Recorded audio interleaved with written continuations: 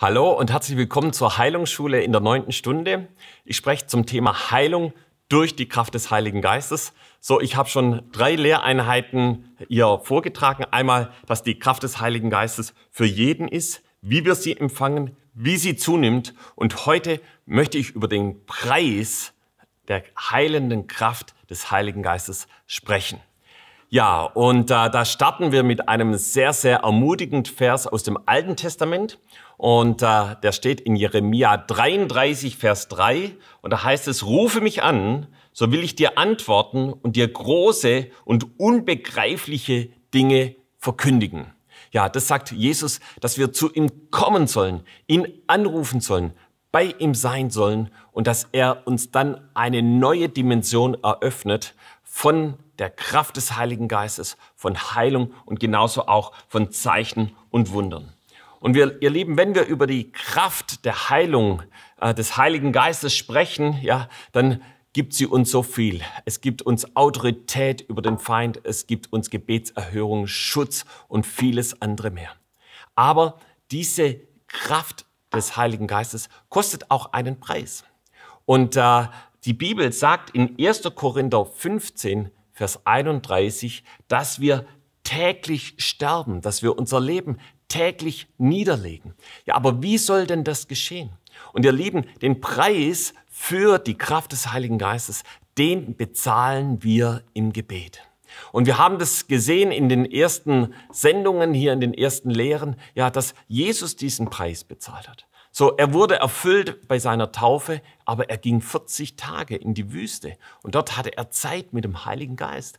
Dort empfing er die Kraft des Heiligen Geistes und von da aus diente er. So, wir haben Petrus kennengelernt in der Apostelgeschichte, ja, wie er die Vision empfangen hat, ja, in der Apostelgeschichte 1, Vers 8, aber wie er dann mit den anderen zusammen zehn Tage vor dem lebendigen Gott war und gewartet hat auf die Kraft des Heiligen Geistes, weil er wusste, ich kann es alleine nicht, wir brauchen den Heiligen Geist.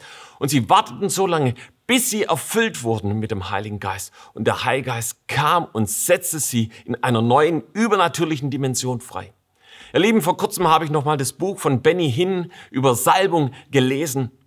Und er schreibt dort, auch über den Preis der Salbung, über den Preis der Kraft des Heiligen Geistes. Er sagt, dass er in einer Veranstaltung mit Catherine Kuhlmann war und erfüllt wurde mit dem Heiligen Geist, wie er das zuvor nie erlebt hatte. Und wie er dann ein Jahr viel Zeit mit dem Heiligen Geist verbracht hat. Und dann hat Gott zu ihm gesagt, predige das Evangelium. Und er ging in die erste Veranstaltung, war noch ein bisschen ängstlich, weil er stotterte. Und der Heilige Geist kam auf ihn und er konnte das erste Mal ohne Stottern das Evangelium verkündigen. Die Kraft des Heiligen Geistes kam, erfüllte jeden Einzelnen und Zeichen und Wunder sind geschehen. Und er sprach darüber, dass diese Salbung einen Preis kostet.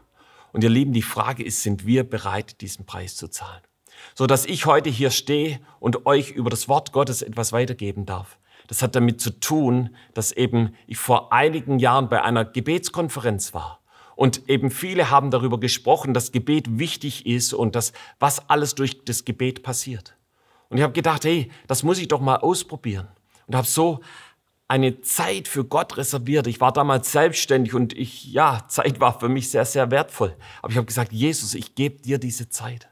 Und ihr Lieben, schon beim ersten Mal, wo ich Gott etwas länger gesucht habe, damals habe ich mir so drei Stunden reserviert, kam der Heilige Geist mit seiner Salbung, mit seiner Kraft auf mein Leben, wie ich das zuvor nie erlebt habe.